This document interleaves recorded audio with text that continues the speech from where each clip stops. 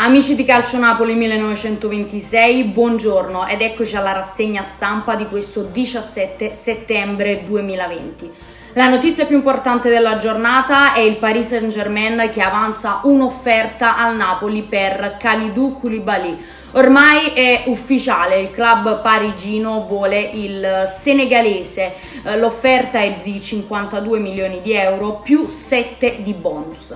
Al momento però Aurelio De Laurentiis resta in silenzio, aspetta e forse spera che il Manchester City rilanci con un'offerta indubbiamente più alta. Nel caso in cui però andasse via il numero 26 azzurro, il Napoli deve coprirsi, per l'appunto deve difendersi in quella zona del campo e quindi inizia a sondare dei nuovi profili. Quello più caldo al momento è quello di Senesi del Feyenoord, uh, il club olandese richiede 25 milioni di euro, ma evidentemente la trattativa si può uh, cercare di limare un po', questo è quello che richiede il patron per arrivare intorno ai 20 milioni. Sensazioni positive positive rispetto a questo affare, mentre per quanto riguarda un altro profilo sempre sondato dalla società, parliamo di Papastatopoulos, sarà trattato e preso solo ed esclusivamente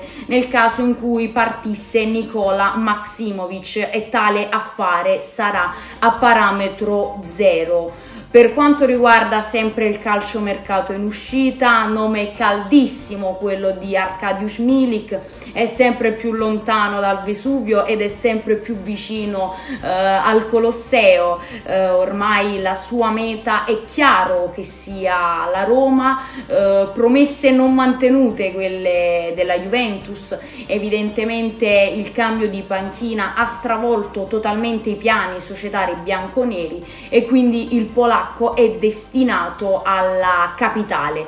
Ieri ehm, a Roma ci è arrivato il procuratore del polacco, quest'oggi ci arriverà eh, il polacco stesso, andrà a vedere da vicino il contratto, a comprendere il progetto eh, societario che c'è dietro la sua figura ed evidentemente c'è fiducia da parte del club giallo-rosso in quanto all'interno del contratto è presente anche un bonus per il polacco nel caso in cui vincesse la scarpa d'oro. Dunque per adesso le notizie sono tutte di, di giornata, queste sono le, le più importanti. L'appuntamento è sempre a domani con le nostre flash news. Buona giornata.